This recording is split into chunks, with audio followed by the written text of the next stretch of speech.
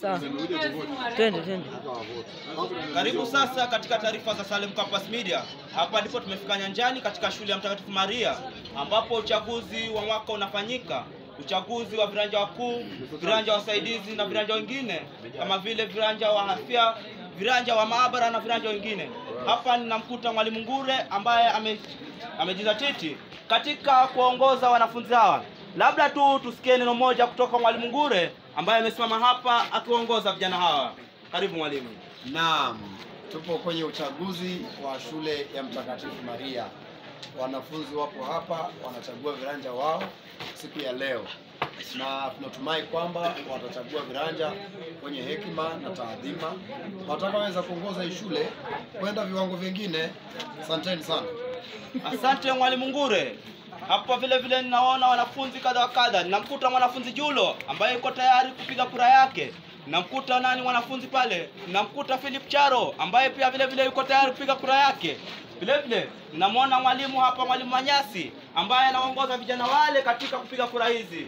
Ninamwona hapa mwalimu Mwashigadi ambaye ndiye msimamizi mkuu wa idara ya uchaguzi hii. Labda tu tusikie neno moja kutoka kwa mwalimu Mwashigadi kama uchaguzi unaendeleaje, na je, anatarajia nini kutokana na uchaguzi wa siku ya leo? Eh, asante sana. Hii uchaguzi imekuwa mzuri sana, matayarisho imekuwa kabambe, lakini wasiwasi wetu ni mvua tu. Mvua ndio tunaona e, inaweza tutatiza, lakini hatutakosa suluhu. Nashukuru wanafunzi, walimu wamejikaza vizuri, at least tumeona ita, itapendeza. Eh, huu mchakato haswa wa mwenyekiti mwenyekiti, naona huu mwenyekiti hapo kutakuwa na ushindani mkali sana kwa mwenyekiti na mwenyekiti mdogo. Kwa hivyo natarajia yule atakayeshinda ndiye atatuongoza vema na yule atakayeshindwa e, pia yeye labda atatuongoza kwa njia nyingine siku nyingine. Asante.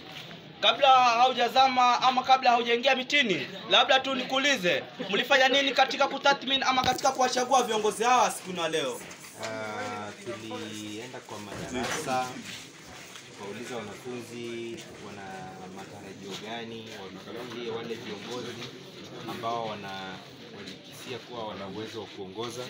Tukachukua majina kutoka kwa wanafunzi, tukawaorodhesha, tukaangalia wale wako na nidhamu nzuri na wanafanya vizuri darasani.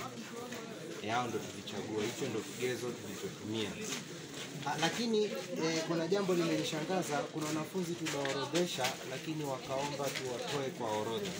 Sijui kama ni kuogopa ushindani ama walishawishiwa na wenzao.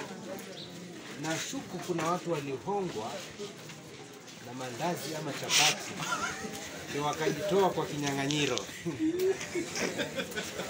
Ukiangalia kama eh, heli kuna wanafunzi walijitoa. Ukiangalia kama pia eh, entertainment kuna wanafunzi walijitoa pale. Sasa lilinishangaza sana, lakini pia kazi kwetu ikapungua. Kwa hivyo tunasema pia ni sawa eh, bora tuna viongozi inshallah. Asante sana kwa taarifa hizo. Basi tutabidi kusonga mbele pale, tutazidi kusonga mbele tupate taarifa nyingine zaidi na zaidi.